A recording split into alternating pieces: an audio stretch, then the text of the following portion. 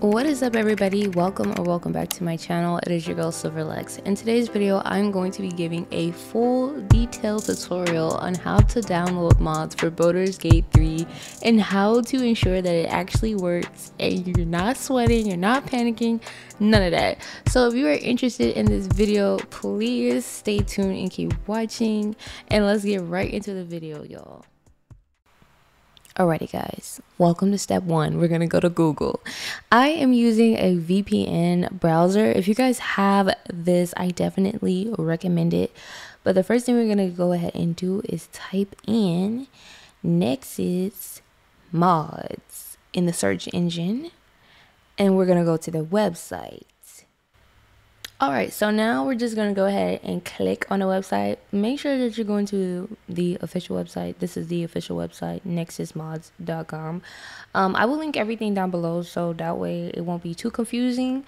So if you haven't already, you need to make an account. I cannot stress this enough. You need to make an account. You need to save the password, write the password down so you don't forget it. Okay, we got it. We got it, bestie. Okay, so the next thing that you are going to have to do is get the Vortex Mod Manager. You need this to make everything work, you guys.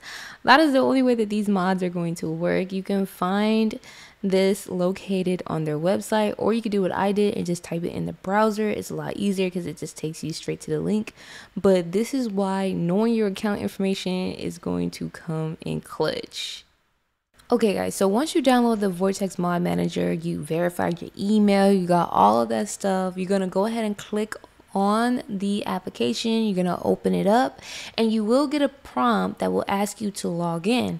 Once you log in on the Vortex Mod application, then you will be able to begin to download mods. Before we even get into that chapter, you want to make sure that you go into the game section and you want to add Baldur's Gate 3 to the Vortex mod manager.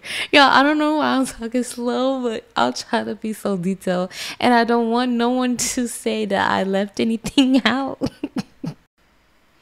Okay, y'all, I'm done laughing, but I want to go ahead and bring this up. Now, when you do start downloading mods and you have your Vortex mod manager, you will see this prompt.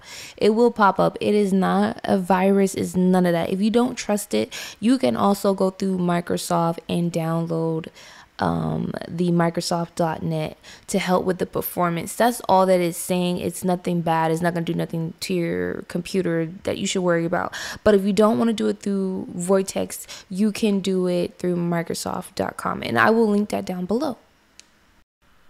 Okay, guys, so now we are getting closer to the fun part. But before we start getting to all the mods and the greatness that we're about to unlock, you need to download these important important files. It's going to be the patch 3 mod fixer pack and another one is called the lslib slash divine tool. This is what you're going to need in order for your mods to work. I will link those down below. You can also find those on nexus mods. That is super important. None of this is going to work. If you don't do the fix it's not going to work. If you don't download the patch 3 mod fixer and that divine tool your mods will not work. And if you don't follow the instructions that are placed by the mod creators, the mods are not going to work. Alrighty guys, so we are on the fun part, which is downloading our mods and putting it into the Vortex mod application and then we get to see it in the game which is super fun as well. One thing i will say is always read before you start downloading anything. Read the reviews or the post threads. Not really reviews or post threads but read the post threads. Read when the mod was uploaded and read when it was updated. If there was any updates and that way it would give you a range because as you guys know we are still in early access. We have patch 9 coming out and so much more regarding Baldur's Gate 3 in this game. If you guys want to know more information about patch 9 you guys can check out my latest video. I will link it at the top right of the corner here so you guys can see it for yourselves and check out that video. So without further ado, let's go ahead and showcase one of these mods. Now I just went and picked a mod that I didn't have already in my Vortex mod application and now I'm going to show you guys how I check everything to make sure that everything is good to go when I load up my game. Alrighty guys, so here I am checking the mods and they look so good. So I have the Tav's Hair Salon. I also have the Tav's Hair Salon Auto Snap Hair Pack. Um, so yeah, I had downloaded both of those.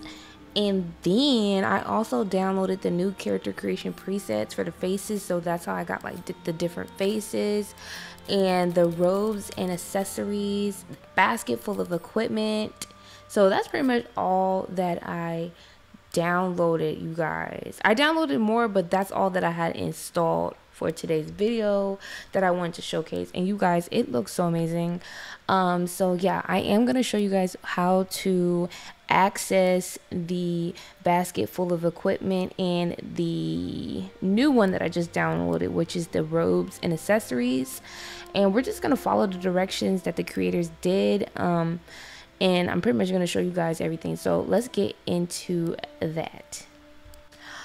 Alrighty guys, so I went ahead and made my little character. I thought she was super cute, but here I am. I'm just checking to make sure that um, the mods are doing exactly what it said in the description. Now, some mods will say that certain races are not compatible with the mods that they created. So you would have to go download a different set of mods by a different creator. So that's all i'm doing here. I'm just testing that theory making sure that's correct. And boom bada boom i checked. Everything is good to go. And now i'm going to show you guys where to get the clothing at.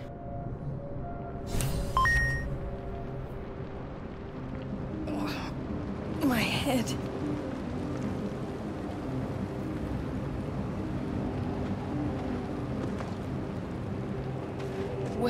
Hells are we?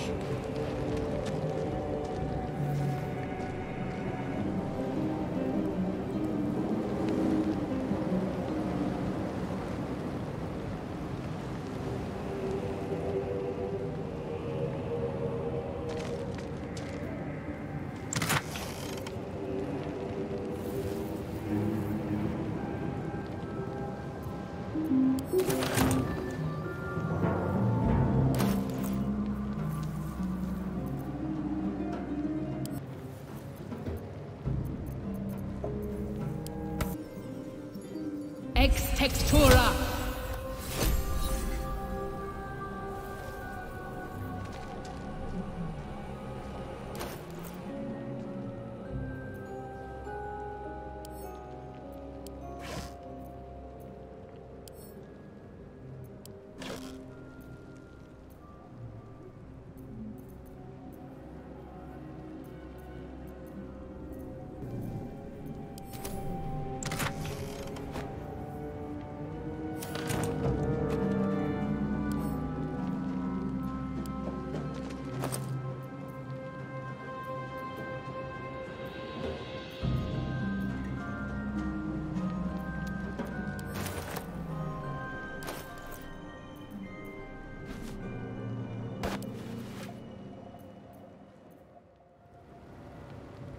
Alright guys, this concludes the video. Y'all, this mod looks so amazing. Now, I do notice some clipping with the robe, but the creator did already warn that there could be some slight clipping depending on the character. But other than that, I am satisfied. I hope this video helped you today and you were able to get mods into your game because mods really make the gameplay even more interesting than what it already is. I will see you guys in my next video and don't forget to like, comment, and subscribe. That really helps the channel.